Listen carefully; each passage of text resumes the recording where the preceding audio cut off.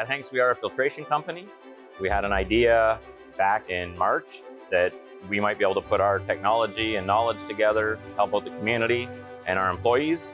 We went ahead and kicked off the project. We had the capabilities and the aptitude to make masks. And I was so proud of this effort that once that decision was made, once that commitment was made, we went from inspiration to perspiration mode at, at that point in time.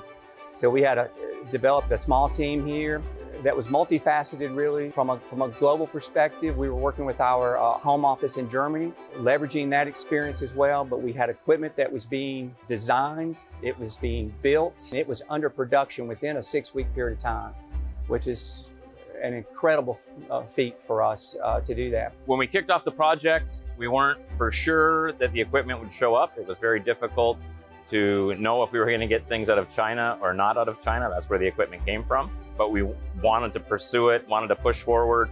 We asked our employees if some of them would be willing to donate time and effort into this project. Myself and other engineers and our human resources and operations manager, uh, we all pitched in, put in our own uh, strength and sweat, and built the building you see behind us. But really, very proud of the team. You know, we were in a crisis. All of our customers really had shut down. We were shipping some of our aftermarket product, but our big OEM customers were down. People were on furlough. People were working at a discounted rate. But uh, the passion that the people had, they donated their time to help get us through the crisis. They were in here on weekends and after hours till midnight, putting this room behind us together. Uh, currently, the production line's running 24 hours a day, seven days a week. Our goal is to make 85,000 masks per day. Uh, we're currently up to 50,000 masks per day. Eventually, we'll go back down to a five-day shift, but during the height of the pandemic here, we want to get as many masks out to, to companies and people that need them as possible.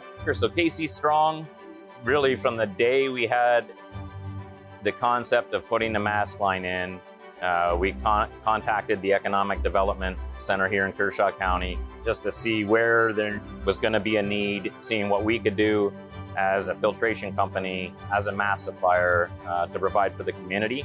And it's been a very positive experience. We're getting we're getting product, we're getting mass out to the local to the local community, and being able to support that has been excellent. This mass line enabled us to bring 36 people back